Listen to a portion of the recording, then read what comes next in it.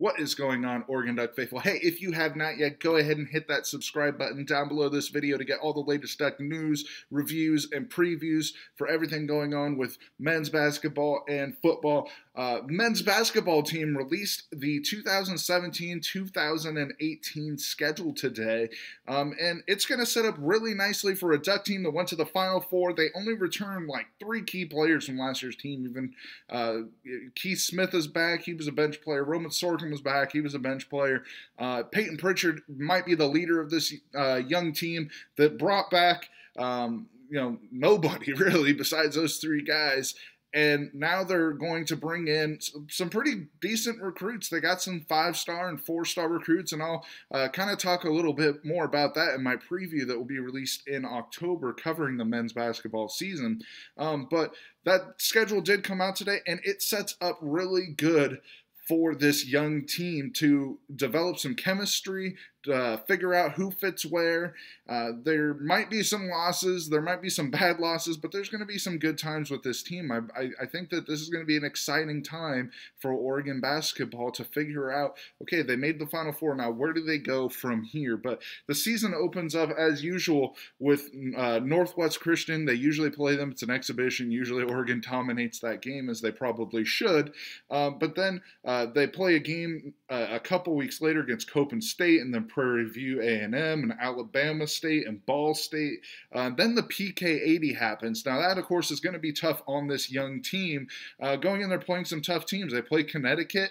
Um, then they could potentially be playing Michigan State after that. And so Oregon's going to have some tough games there at the PK 80. Uh, that'll be a great learning experience for them. Then they return home a few weeks later playing Boise State, Colorado State, Texas Southern, Portland State before finally hitting the road. They don't even leave the state of Oregon until December 16th at Fresno State.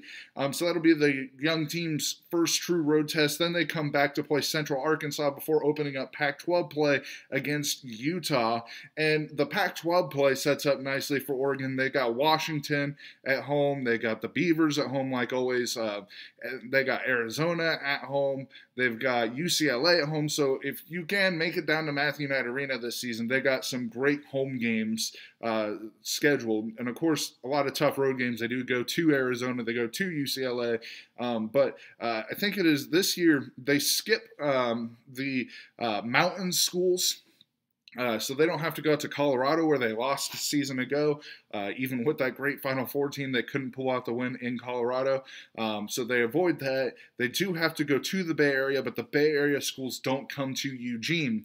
Um, but this is going to be an exciting season. Like I said, young team. I'm excited mostly about the non conference play that it will allow this young team to get themselves set up before conference play. They only leave the state of Oregon one time until January.